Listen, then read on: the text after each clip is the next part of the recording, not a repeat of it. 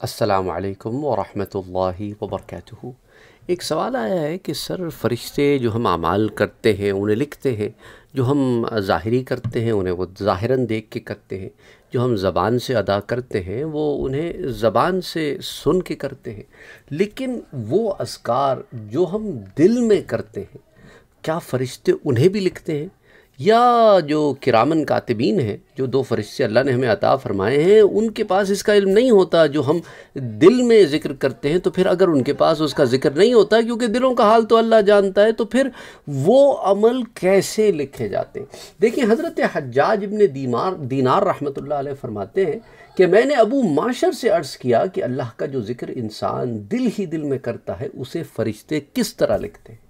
तो फरमाने लगे, वो इसकी खुशबू पा कर लिखते हैं। यानी कि जब तुम नेक अमल करते हो ना तो नेकी की एक खुशबू होती है। जब वो खुशबू इंसान से निकलती है, जैसे गुनाहों की एक बदबू होती है तो ये रूहानी मामला होते हैं। तो जैसे उस बंदे का अल्लाह का ज़िक्र करता है तो वो एक खुशबू उससे निकलती है और उस खुशबू को वो पा लेते हैं और उससे वो ज़िक्र उसका जो है, जो भी उसने काम किया है, उसे लिखते हैं और फिर इस, इससे मालूम होता है कि खुशबुओं की कैफियतें भी जुदा जुदा हैं ज़िक्र के अतबार से। तो अल्लाह ने उन्हें वो इल्म दिया है कि ये खुशबू पाओ तो ये लिखो और ये खुशबू पाओ तो ये लिखो। इसे